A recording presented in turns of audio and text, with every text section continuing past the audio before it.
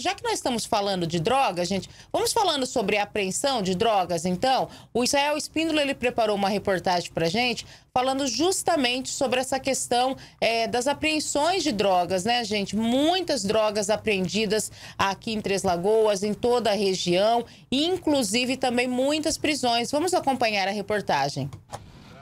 Marcos Alexandre Santos Lima, 23 anos. Há cinco meses está sem o uso do crack. Como ele mesmo diz, está limpo. Mas as consequências que as drogas lhe causaram foram devastadoras. Com 17 anos, eu entrei na droga do narguile, querendo ou não, é uma droga. Com 18 anos, eu entrei na maconha.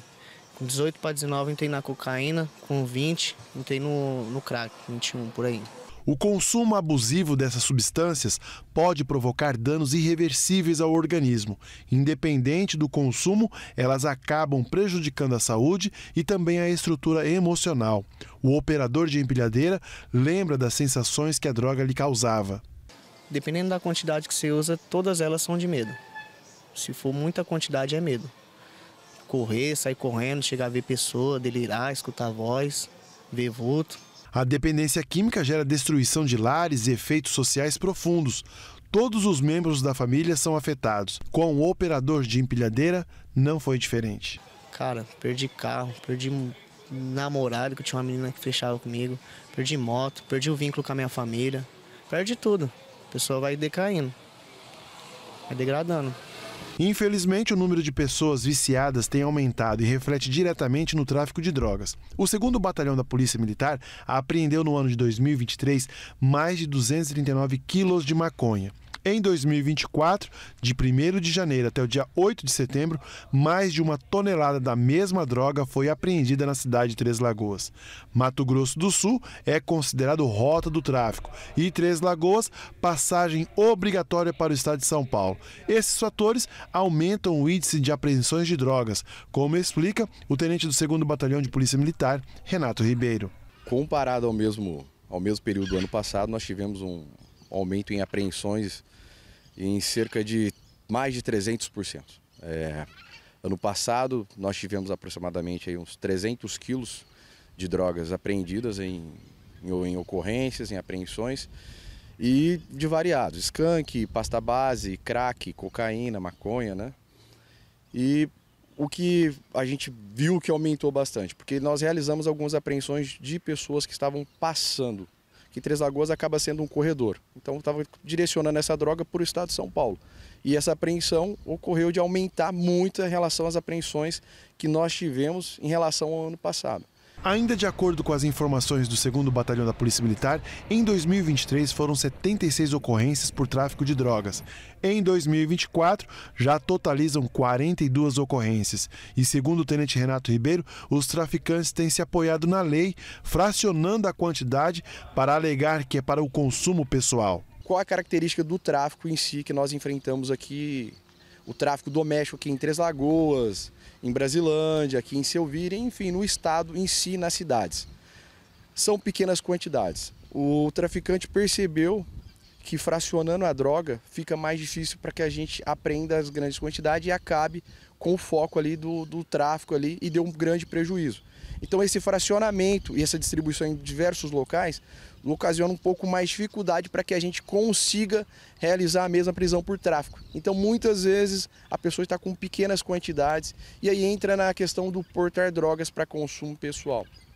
Então essa é a estratégia. Ou usar menores de idade, né? os adolescentes infratores.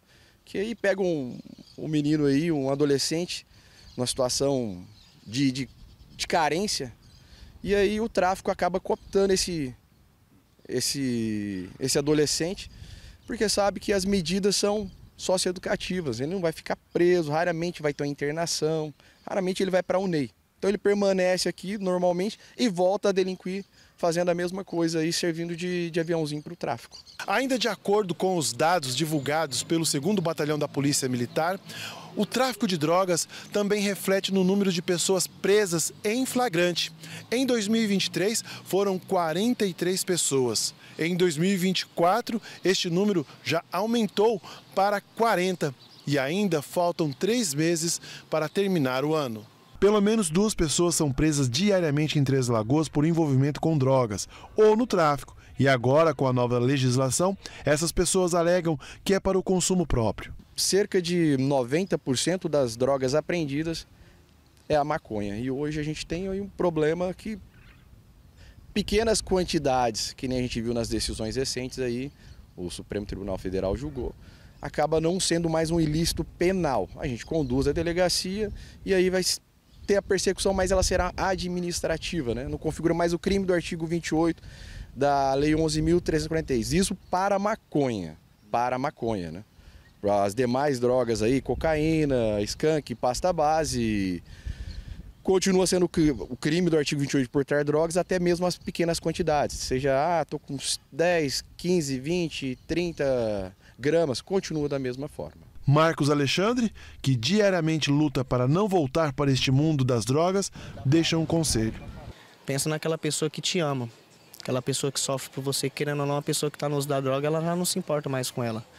E tem que ela pensar na família que está mais próxima, que é a família que sofre, né, cara? Eu mesmo, quantas vezes deixei minha mãe sofrendo em casa, deixar, às vezes minha mãe deixava até de comer, preocupada comigo, deixava de dormir. E eu deixo para essa pessoa essa dica aí, pensa em quem ama você, procura uma ajuda. Às vezes a gente não tem força nem de pedir uma ajuda, porque a gente está querendo droga. Mas pede uma ajuda, mesmo sem força, pedindo ajuda, às vezes com o tempo Deus vai abençoar. Pedir muita oração também, ir numa igreja, que a espiritualidade é sempre bom.